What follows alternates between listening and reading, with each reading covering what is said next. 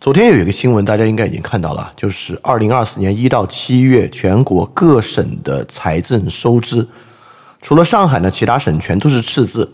当然，如果你一直关心中国经济啊，这个情况其实并不是一个新情况了。中国财政收支除了上海以外，各地全是赤字。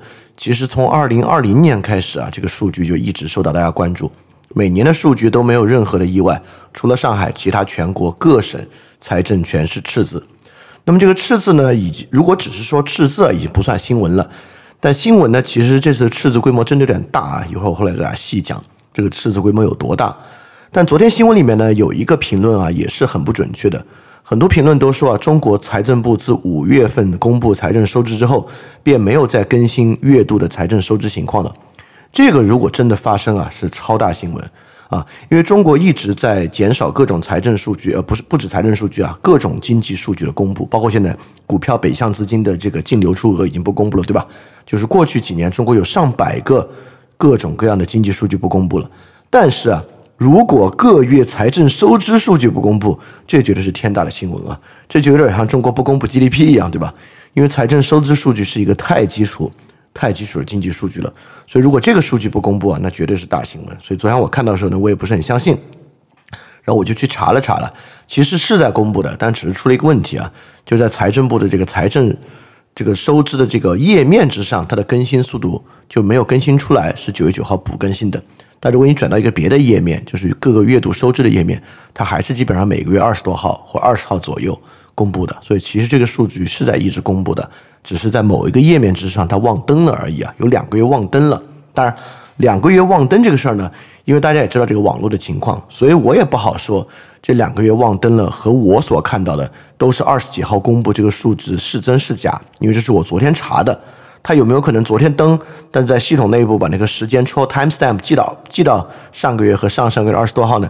也是有可能的啊。但我认为这个可能性不大，因为如果过去两个月都没有公布这个财政收支数据的话，早就被人发现了，这不可能昨天才发现。所以过去两个月应该还是有这个财政收支数据的，是因为本来这个数据就是作假的嘛。我们一会儿就来讲作假的痕迹啊，所以它应该没有必要用不公布的方式来让这个数据变得不透明，可能性不大。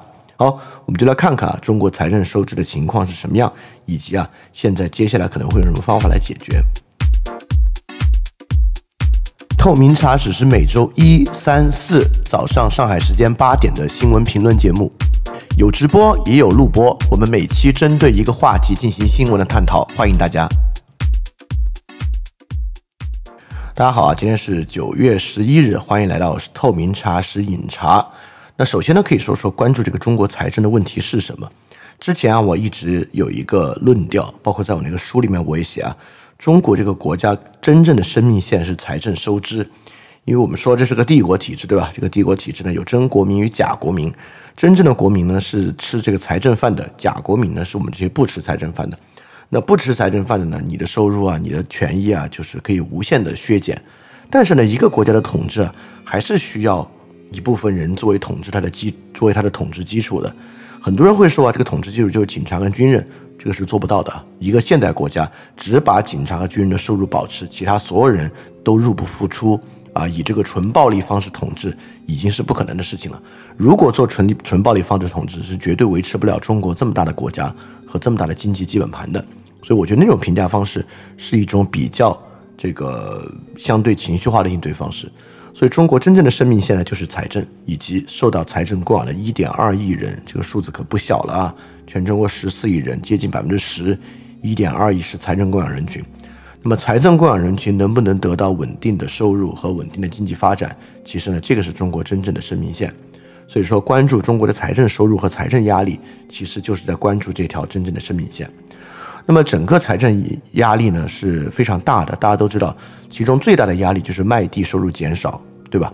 因为中国过去地方财政收入有一半甚至一半以上是土地出让金收入，但土地出让金收入了连年以百分之二十多的速度下跌，啊，因为房地产的崩溃嘛，所以房地产崩溃，我认为对中国造成的最大问题，一个是债务问题，一个呢就是这个地方财政收入的问题，啊，这个地方财政收入呢就会导致赤字加大，第一方面呢是卖地收入减少啊，这个是一部分很严峻的。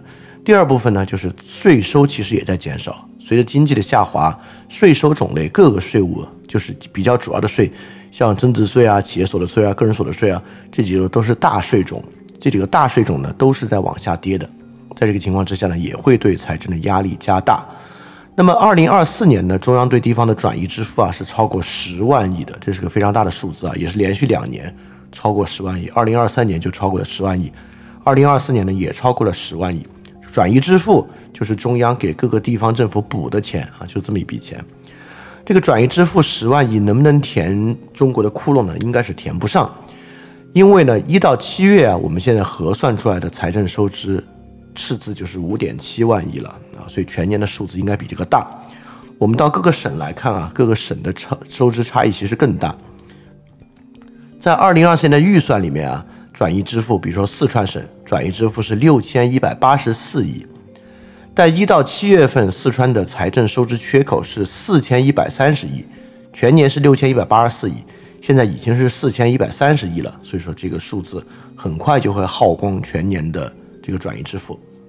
当然啊。我必须说一个情况，转移支付额比这个财政收支额大是正常的。为什么呢？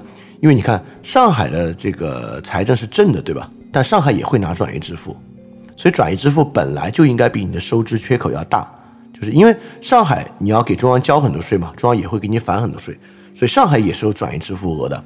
所以从这个看起来呢，缺口就更大了，因为转移支付额应该比你这个省的财政缺口要大才对，对吧？因为每个省都是有财政上缴，不会因为你有这个财政缺口，你的财政就不上缴。所以说，你最后收到的转移支付应该等于你的财政缺口加上你的上缴转移支付的部分才可以啊。所以四川呢，现在是呃转移支付今年的总额六千一百八十四，财政缺口已经到四千一百三十，这个已经因为刚刚过去七个月嘛。河南呢，转移支付五千三百三十五。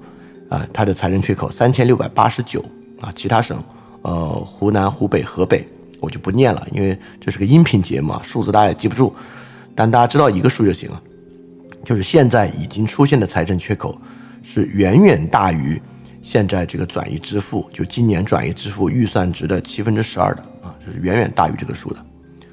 好，那刚才我们念的五个省呢，就是五个财政缺口最大的省：四川、河南、湖南、湖北、河北。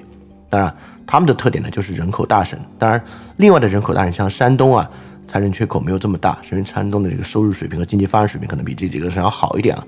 所以这几个省呢，可能就是本身他们的这个人口负担就要重一点。四川、河南、湖南、湖北、河北，他们的转移支付压力和财政缺口压力是最大的。那么有人核算啊，在今年的预算之上，广义的财政缺口有多少钱呢？广义的财政缺口已经达到了一点八万亿，也就是说。今年所有转移支付是填不上地方的窟窿的，差一点八万亿，一点八万亿可不是个小数目啊。去年呢，中国的特别特别这个新增的国债是一万亿，所以今年呢也是安排了一万亿，但是很可能会继续增加，才可能填得上这个窟窿。当然，继续增加这事儿肯定是板上钉钉的事情了。好，这是这个地方转移支付压力增加，财政缺口增大，确实是一个特别特别大的数字。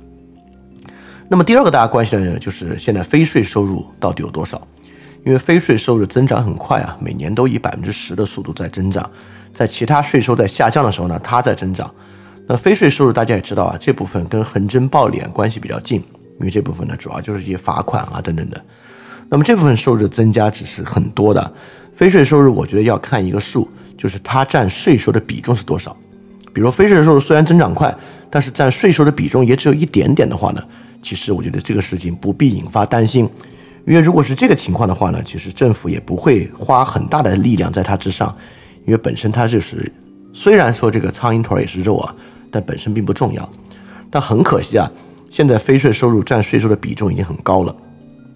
随着这两年啊，普通税收下降，非税收入快速上涨，非税收入占税收的比重已经从二零二一年的百分之十五点六，就那会儿啊，二零二一年啊越越早的话会越少。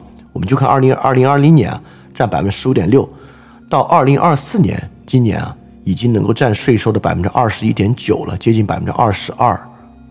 请注意哦，这个还没有完全反映出真实的情况，因为非税收入主要是个地方收入啊，中央罚款是罚的不多的，这个所所谓的非税收入部分主要就是一个地方收入。但是我们说占税收比重啊，这个税收呢是中央地方包在一起的税收，所以说实际比例我们应该看非税收入要占地方税收的比例是多少。这个比例呢几乎可以翻倍，因为啊中央税收很多是中央独享税，很多央地共享税呢这个分配比例也是五比五或六比四，所以实际上在整个税收盘子里面，地方税收应该要占整个税收盘子的百分之五十，甚至要再低一点点。我们就比较保守的算，按百分之五十算。如果按百分之五十算的话，非税收入占税收的比重已经到百分之四十四，已经快接近一半了。什么意思？这是个非常可观的收入。你看啊，现在的情况呢，就是税收部分是一个大的盘子，这个盘子的比例在下降。那非税收入呢，已经占到前面这个蛋糕的一半了，接近百分之四十四，而且呢，每年以百分之十的方式上涨。所以说，对于地方填满地方财政窟窿，非税收入已经是一个可行的方式了。如果它是一个可行的方式，它就会是一个各地去下重手去解决的方式啊。就按照之前封城的说法，手势就会很重。而且啊，这个这部分的非税收入的增长，会让之前我们想弥补地方财政亏空的一个方法，就是消费税变得无足轻重。就是因为非税收入额度太高了，已经远远比消费税高了。现在消费税呢是中央独享税，未来呢想变成这个央地共享税，我们就算它变成央地共享税五五分。现在啊，就今年一到七月，非税收入是消费税的百分之一百四，就是消费税的一倍还要多。如就算央地共享税五五分啊，所以现在地方能够分到的消费税的额度，只有非税收入的百分之二十。也就是说，你拿到这个新蛋糕，是你自己可以创造这个蛋糕的五分之一，而且啊，非税收入别忘了，还是每年都能以两位数增长的一个收入，而消费税呢，其实还是下降的。所以从这个情况之上，让这个消费税来补地方财政亏空，显得呢有点这个比较难啊，有点杯水车薪。所以地方呢，可能还是会按照非税收入来调整。而且啊，我还必须提示一个情况。现在非税收入的额度啊，我认为都已经是调整之后的，实际非税收入额度会比这个高。怎么调整呢？我认为调整方式很简单，就是你把非税收入里面补税的部分，把它平衡到税收里面去。比如说，你这个非税收入是靠这个税务罚款和这个税务补缴来完成的，你不计入非税收入，你把它计入到，比如说你全部计到增值税里面，就可以增加增值税的数，让数字变得好看一点。好，从这里呢。我们话题啊就可以转到做账上面来了。就是中国啊，我们之前说过，中国有一些经济数据是相对来讲比较透明、比较可信的。那财政数据可不可信呢？我认为财政数据总量和趋势相对可信，但细项一点都不可信。好，我们就来看啊。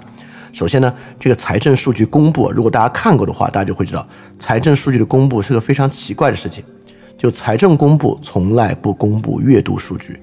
它只公布一到，比如说一月份公布一月份的，二月份公布一到二月的，三月份公布一到三月的，所以它做同比数据对比，就是今年的一到三月比去年的一到三月，它从来不用今年的三月去比比去年的三月，它也没有环比数据，它不用今年的三月去对比今年的二月，所以说财政数据从来不公布月度数据，只公布一到几月一到几月的数据，当然啊。如果你想获得月度数据，也很简单，你自己去减嘛。你自己拿一到七月的数据去减一到六月的数据，就减出了七月份的数据，对吧？但是你说他为什么不直接公布月度数据呢？因为本来他是按月统计的。哎，这个呢就可以让做数据的痕迹和季节性不要那么明显，因为这就说明啊，财政需要大量的做数据。好，我们就来看看财政为什么需要做数据，以及这个数据是怎么做的？那我自己呢做了详细的数据统计。发现了一系列的做数据的痕迹。第一个呢，就是非税收入，所以我敢说啊，非税收入这个数字绝对是不对的。好，首先啊，大家都知道，非税收入这个事儿，按理说是应该没有任何规律性的。什么叫规律性呢？比如说个人所得税这个数字应该是有规律性的，对吧？因为个人收入以及尤其是这个所得税收入啊，就是工资的收入，它是跟工资合同绑定的，它是不会快速上下浮动的。而且个人所得税是按月缴纳的，所以按理说，个人所得税应该是个每个月规模都比较类似，不会有大幅度上下波动的一个税收收入数据。那么按理说，非税收入是不应该有任何规律的，因为非税收入里面很大一部分是罚款，对吧？罚款这个事儿你是没法计划的，很多时候必须出现违法事项，你才罚得出这个款。所以按理说，罚款数据是不应该有规律的。所以如果罚款数据出现出大幅度的规律，哎，就说明会有问题。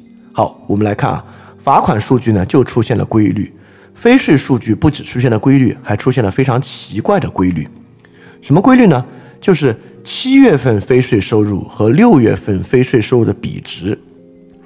按理说啊，在一个月份出现非税收入的数据雷同，就已经是很大的做数据的痕迹了。如果两个数据的环就是环比数据之比，甚至都是一致的，这就更奇怪了啊！确实就是一致的。从二零二一年到二零二四年，七月非税收入都是六月非税收的百分之四十八，就是这么巧。七月非税收入是六月非税收入的一半。而且是百分之四十八，当然不是 exactly 百分之四十八，百分之四十八点一二，百分之四十八点七六，但是都是百分之四十八，哇，这好奇怪，说明什么呢？说明七月非税收入啊，每每次公布的七月非税收入就是拿六月的非税收入算的，也就是说我们每次公布它，它就是六月非税收入百分之四十八，哎，这有意思了。那为什么六月非税收入一定要比七月高呢？这是为什么呢？这有很多原因啊，一会儿我们会讲。七月份会有一些别的税收集中收入，所以七月份这个盘子是可以靠其他税收去集中的。而且六月份大家知道，六月份很特殊，六月份是上半年的收官，所以六月份呢是半年收官，半年收官呢是要冲一波数据的。好，你看啊，我们再来看一个很有意思的，如果非税收入它是应该没有规律的，那六月非税收入占前五个月，我们拿六月份的跟前五个月比。如果它相对来讲有一定的大数统计价值的话，它应该占前五个月百分之二十，对吧？就一个月跟前五个月比嘛，所以它的非税收入的比例应该到百分之二十。但其实呢，六月非税收入跟前五个月的非税收入比啊，都能够占到百分之三十以上，所以说明六月份是一个非税收入的大月。那么六月份为什么会成为一个非税收入的大月呢？只有两种可能，一种可能。是每次为了完成半年的税收收入指标，在六月份突击罚款，或者把很多罚款挪到六月份来罚，这是一种可能性。第二种可能性呢，就是会计手段用做数据的方式来做。那我认为呢，这两者同时存在。就六月份突击罚款来完成上半年的税收指标，肯定是存在的。第二，做数据的成的痕迹也非常明显，就是每年的七月非税收入都是六月非税收入百分之四十八。啊，这个呢是非常非常明显的做数据的痕迹，所以说非税收入总额是不是这些，以及非税收入每个月是不是这么多呢？我觉得这个数据的可信度是比较低的，所以我认为实际非税收入很可能会比现在的非税收入高啊，这个应该是可能可能的。好，我们再来看其他的这个税收收入的部分啊，那其他税收收入的部分呢，我认为冲冲冲量的痕迹也非常的明显，对吧？那这个冲量的痕迹非常明显呢，我们能看出年度之间差异啊。刚才我们说，我们只要算出了一个月的税收收入或者某个税收的收入，我们可以拿它和过去的月份做比值，这个比值应该是存在一定规律的，对吧？因为这个比值，因为里面很多税收，像增值税啊、个人所得税啊，虽然有季节差异，但这个季节差异在全在平均到每一年应该是比较类似的。所以说，六月税收收入占前五个月的比例啊。就算它不是百分之二十，因为有季节性的原因，但每年呢，它也应该相对比较类似。但是呢，现在的情况呢，就是看整体税收收入啊，六月税收收入跟前五个月的比值是越来越低的。从二零二一年呢，它非常接近我们说那个百分之二十的值，我认为百分之二十呢也是正常值，是百分之十九点八四。那从二一年开始呢，六月税收收入占前五个月的比例稳定下降。每年降降低百分之一，所以它最后是十九点八四、十八点一零、十七点五六、十六点九二。所以说六月份的税收收入占占全五个月的比重呢越来越低。好，这只有两个可能性。第一呢，说明六月份的税收啊越来越差，就每年六月稳定的税收都在变差。我觉得这个有点说不过去，对吧？第二呢，就是税收收入提前透支的额度越来越高，就是越来越在会计手段上往前移。耶，大家要知道啊，中国现在越来越需要把各种经济数据的统计往前移，为什么呢？就是要营造开门红，对吧？现在你你也知道，从二零二三年啊疫情后恢复，中国越来越想营造每年春节之后的开门红，希望啊春节之后各个数据一片大好。来让大家相信啊，中国经济不错，所以说为了营造开门红，三四月数据就要做得好看。为了让三四月数据做得好看呢，哎，你数据也不能编得太厉害，对吧？所以就要从后面往前挪。所以我认为整个六月份的数据越来越差呢，其实就是因为为了营造开门红，导致半年红的这个压力啊变得越来越大。好，我就看啊，这个开门红这个事儿呢明不明显？我发现开门红非常非常明显。为什么明显呢？我们看这个企业所得税啊，企业所得税是一个比较特殊的税种。我们知道，个人所得税呢是每个月收，企业所得税呢是在季度出手，所以企业所得税是一月、四月、七月、十月这四个月来收。好，因为四个月来收呢，那这因此这四个月的企业所得税税种会增大。那除了这四个月之外，还有一个月的企业所得税会高，就是五月，因为五月份呢是税务部门啊针对上年企业所得税的汇缴清算，所以很多企业呢可能会在五月份去补缴整个上一年度的企业所得税，所以一四五七十是企业所得税的一个高征收月度。好，我们就来看啊，我们来看这个六月的税收占前，我们就看六月的企业所得税占前五月的比重啊，首先。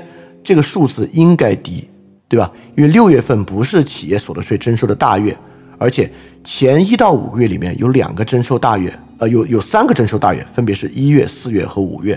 一季度、二季度企业所得税和五月份来补缴上年度的企业所得税，所以六月份的企业所得税税额呢，跟之前比应该低。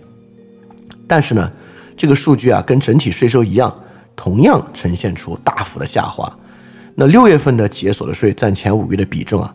从二零二一年到二零二四年是二三二二十八十五，你看，二三二二十八十五，六月份的份额啊越来越低。这里面呢也有两个可能性，第一个可能性呢就是我们刚才说啊做数据啊，之前啊做半年红，现在做开门红，所以很多数据前移，六月份的数据呢在前面已经用掉了，所以越来越少。同样呢还有第二个可能。就五月份所得税补缴规模越来越大，为什么六月份占比降得这么快，比整体税收收入降得快呢？我认为也是两种都有。第一，做做开门红的数据，把后面的数据往前移；第二呢，就是五月份所得税补缴嘛，这个补缴规模越来越大。当然啊，这个就很可怕了。你看啊，今年整体企业所得税是下降的，但是从这个数据上来看。五月份的所得税补缴规模可能在增大，也就是说，我们在加大企业所得税补缴规模的基础之上，今年所得税收入还在下降，就说明如果没有这个增大补缴额，今年企业所得税下降速度还会更快。所以，企业所得税呢，也同样存在这个统计学上的逐年占比降低的趋势。那这个逐年占比占比降低，我们也能看出两个事情啊，第一就是做数据的痕迹，做开门红的数据痕迹。第二呢，就是五月份所得税补缴规模可能会越来越大。好，那我们来看另外一个情况，那我们再看看七月就很有意思了。七月份按理说啊是企业所得税的大月，对吧？因为七月份就是要缴三季度企业所得税的嘛。那七月份占前六个月的比重呢，应该是相对比较高的啊。那七月份应该是高峰月份，但七月份呢，你看也越来越差。七月份占前六个月企业所得税的比重，从二零二一年到二零二四年。是二十四、二十三、二十、十八，越来越低，啊，所以只有两个可能啊。第一，要么呢三季度越来越差，要么呢七月份的数据啊挪去冲半年红了，啊，我认为这个呢就是后者的可能性大一点啊，因为七月份所得税数据差说不上，因为中国现在啊整个生产环节不行，但消费环节，尤其二零二三年之后啊，消费环节还尚可。在消费环节尚可的情况之下呢，七月份作为暑假的第一个月啊，应该是一个消费大月，而且七月上半月比八月还凉快点呢，所以七月的消费量应该蛮大的。在七月消费量比较大的情况之下，七月企业所得税大幅下滑的空间不是特别特别大。所以说，为什么七月这个比例越来越低呢？作为一个企业所得税大月，所以七月的数据挪去冲半年数据的肯定是最大的。所以从这些方面呢，我们都能看出很明显的这个操作的痕迹。好，其中啊还包括个人所得税等等啊，也能看出这个操作痕迹，我就不说了。所以说，为什么他们公布数据从来不公布按月数据，只公布一到 n 月的数据呢？就是让这个月度数据的波动不要太明显，让这个做数据的痕迹不要太明显。但如果你自己仔细剪一剪，来做一做比例分析啊，你会发现这个做账痕迹是很明显的。所以财政收入并不是一个啊特别可信的收入啊，就不能在细节上可信。但整体规律啊，就是他们至少不会把减少的做成增长，应该不太会啊。就整体规律是可信的。但细节数据是非常不可信的，就像我说的，非税收入应该比这个高很多。好，从财政收入上呢，我们还能看到一些其他的洞察，一些比较有意思的洞察。第一个呢，就是股市的成交额啊，真的非常非常的惨淡。大家知道啊，从二零二三年八月份，这个股市的印花税是减半征收的啊，以此来作为刺激市场的手段。当时推出的时候啊，还说啊，这个印花税减半是股市的真正大招。每次出了之后，股市的暴涨，结果到现在已经打这个两千七百点保卫战了。好，所以说我们就不能够机械的对比二零二四年的印花税数额跟二零二三年等等的对比。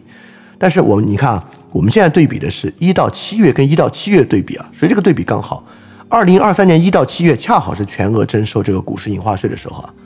所以说我们来看历年的印花税啊，我们来看历年七月份的印花税税额是个很有意思的数据。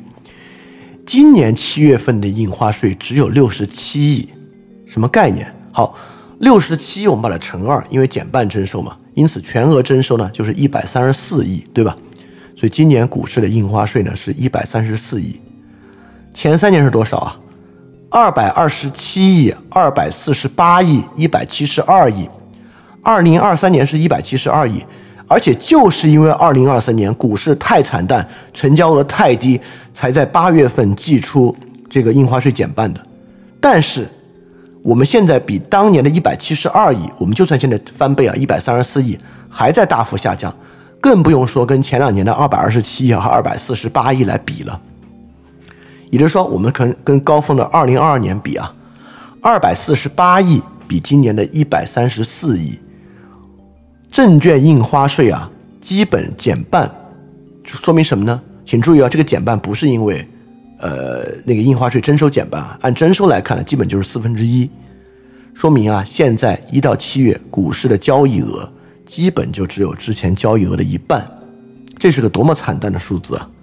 啊，这说明股市是一个多么没有活力的市场，所以就从这个数字上来看，我们对于股市的后续收入也不可能有任何的这个乐观了。所以讲股市就是很惨很惨啊，所以第一个我们从证券印花税上就能看出股市有多惨。第二个就是房产税啊，在悄悄实际扩容之中，因为二房产税之前是在上海和重庆试点征收，对吧？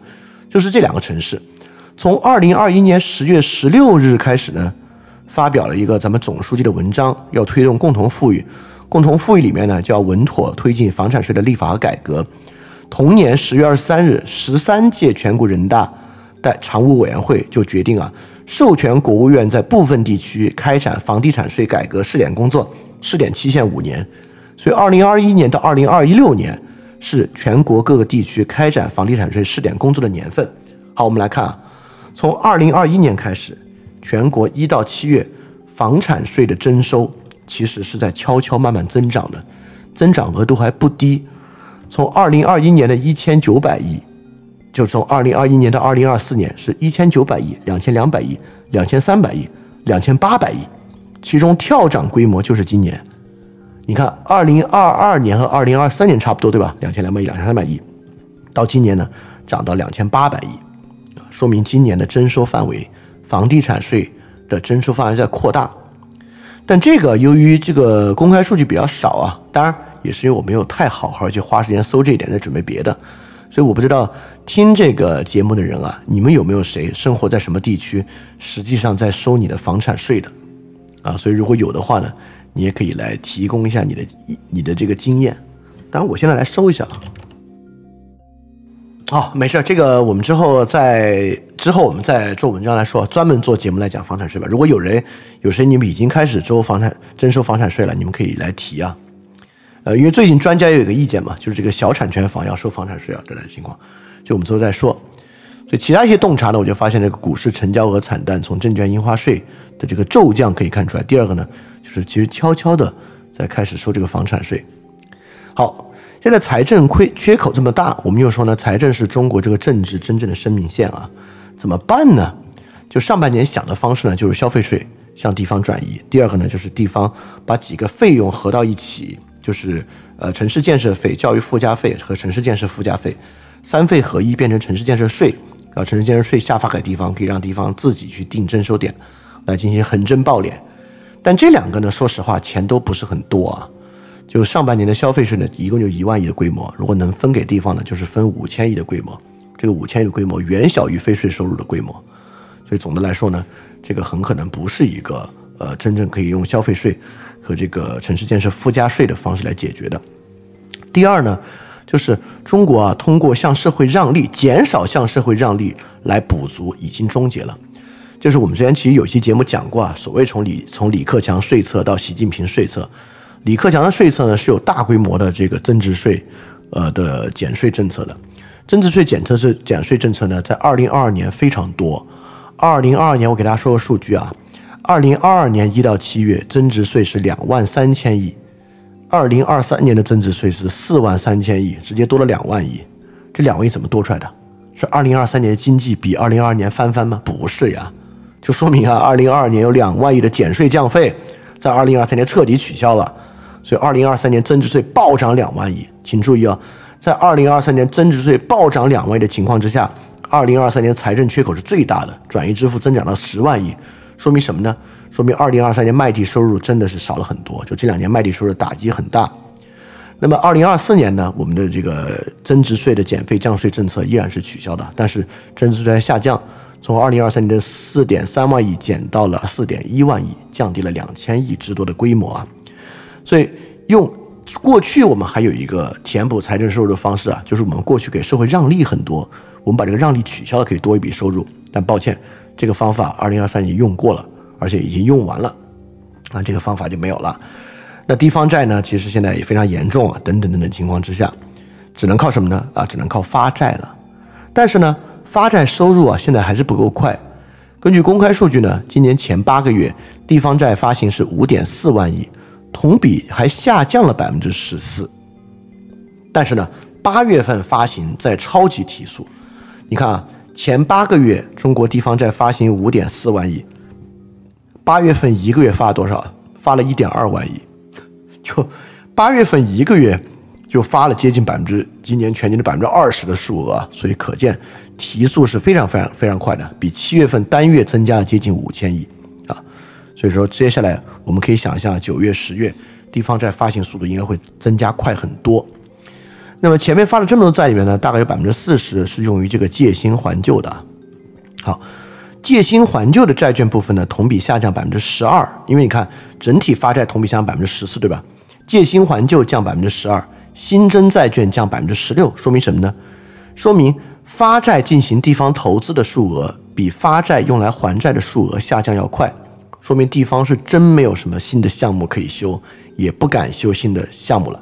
好，各个省市啊都有超发债务的倾向，尤其是八月份，八月份超发债务属哪几个省最多呢？哎，就是我们刚刚刚才所讲的省啊，其中四川超发债务百分之四十一，湖南超发债务百分之八十七，山东也不遑多让啊，超发债务百分之六十二。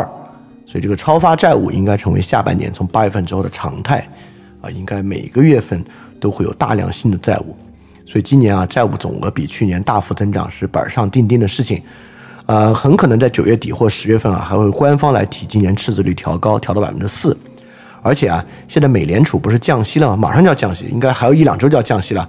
美联储降息也会给中国提供更多发债的空间，因为美联储降息，我们这边发债拖累人民币汇率的速度就要下降了。所以现在发债基本上就是解决这个问题唯一的方法，不仅发债。而且财政监管还要在还还在放松，就今年六到八月啊，地方政府债券的发行有很大的规模而且是增长的规模，分别有百分之十六、百分之六十二、百分之二十三啊，分别有这些规模，在发行时是没有披露一案两书的。什么叫一案两书呢？一案两书就是专项债项目实施方案、项目财务评估报告书和项目法律意见书。披露一案两书说明什么？如果披露一案两书啊，说明这笔债务要有穿透性监管。穿透性监管就是说，这笔债务有很大一部分是需要专款专用的。就如果有这个规模、有这个比例的债务不披露一案两书，说明什么呢？说明啊，这些专项债的使用限制是放松的。你看，过去中国不让地方政府债务发债，要让专项债，就是避免你搞专项债去做拆借。你说你要修高速，你贷了笔专项债，但是专项债根本就是拿来借新还旧，拿来给你的财政发工资。过去我们搞专项债，就是说堵住地方把这个债务东挪西挪的窟窿。但是呢，哎，不好意思啊，专项债监管又烂尾了，啊，这是我国又一个烂尾事项。专项债中间的不披露一案两书的数量越来越多，就说明啊，这些钱就是拿给地方政府东挪西挪、东补西补的。啊，所以说，接下来几个月呢，超发债务，并且这些债务呢东挪西挪比例会增加。当然啊，东挪西挪意味着什么呢？只要可以东挪西挪，过去我们为什么要严格监管这些债务啊？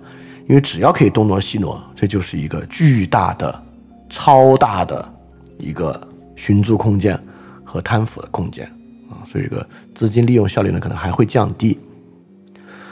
好，除了超发债务之外呢，还可以这个砸锅卖铁，可以下调公务员收入，可以不发奖金，可以欠发工资，当然啊，也可以侵吞公民的财产，以税费的方式横征暴敛。以起诉的方式侵吞民营企业财产，这个呢也是长期在发展的事情了。之后呢可能会越演越烈，而且在缺乏监督、缺乏独立司法的情况之下，肯定还会越来越发生。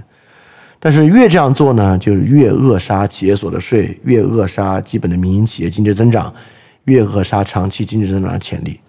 所以财政危机不只是财政危机啊，财政危机呢也会蔓延为其他的危机，会蔓延为地方投资经济下降的危机，会蔓延为。靠税费方式，靠非税收入方式去挤占公民生活空间、挤占经济生长的危机，因为没有任何地方的民营经济可以在这种不确定性的环境之下好好发展的，大家都会纷纷选择关停、选择离开，这是唯一的结局。所以说，财政危机不只是中国整个政治安全生命线的危机，也是在财政危机之下可能会导致扼杀未来的经济增长空间。好。就是大概我们从昨天的一个新闻啊，就是各地财政赤字比较高这么一个新闻展开来看看财政做数据以及财政到底是怎么样了，以及财政对后续的影响。我今天要讲的大概就是这样啊，大家看看你们有什么想说的、想问的，我哪里说错了，你们可以刊物，或者呢，呃，你们有你们的意见和问题要问，你们可以举手连麦，或者在右下角的对话气泡提供你的意见。可能大家现在都等着这个二十分钟之后的 Trump 和 Harris 的辩论呢，大家要去看啊。就如果有机会的，可以看一看，这是非常非常重要的事件。我都在想，要不要开个直播直接看，是有可能的。我一会儿看，要不要我们开个直播，在 YouTube 上开个直播讲这个事儿算了。行吧，反正今天这个财政这个问题，我觉得我说的也算够清楚的了。大家没有什么问题也很正常。那之后我们聊到财政和经济话题，我们再继续看啊。好，那今天这个节目就到这里结束。呃，我们明天早上再见。大家敢于相信，也敢分享的相信。祝大家一天生活愉快，拜拜。好，我们本期透明茶室直播到这里结束。透明茶室是世界苦茶每日新闻的衍生节目，和世界苦茶 YouTube 视频节目形成高低的搭配。世界苦茶是新闻信息，透明茶室是新闻的进阶分析。YouTube 审时煮茶节目是历史和政治学的分析，欢迎同时接受这三个服务。世界苦茶可以订阅 Newsletter 或者在 Twitter 和 Discord 查看。透明茶室在 Podcast 和 YouTube 分别有音频和视频版本的回放。省时煮茶在 YouTube 搜索“世界苦茶”可以看到。所有这些在 Show Note 都可以找到链接。我提供的所有服务都采取全免费模式，也希望可以赞助我的创作在 Patreon，赞助链接也在 Show Note 可以看到。感谢你的收听和对我的支持，我们下期透明茶室再见。大家记得敢去相信，也敢于分享你的相信。